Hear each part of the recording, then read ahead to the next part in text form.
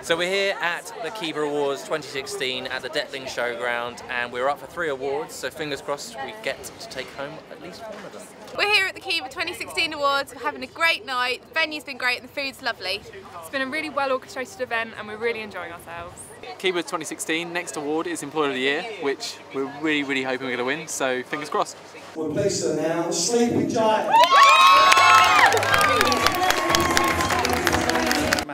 Massively, uh, proud of the team and everything that, uh, that they do. It's been seven years and we were, uh, seven years ago we were sitting in a dining room uh, wondering what on earth we were doing and we're here with uh, 39 people now with a growing business and it's, and it's great and um, just want to say thanks very much for everybody. Thank you. So tonight we have won two awards. We have won the Employer of the Year and SME of the Year at the Keiba 2016. We're absolutely over the moon. It's because we've got an amazing team and like I say, massive thanks to the judges and everyone else who's been involved in getting us to where we are today. So thanks Thank very you. much. Thank you very much. This has been an absolutely fantastic night. We were up for three awards, won two of them. We're here at Keiba 2016 and oh my gosh what a night. It's just been fantastic.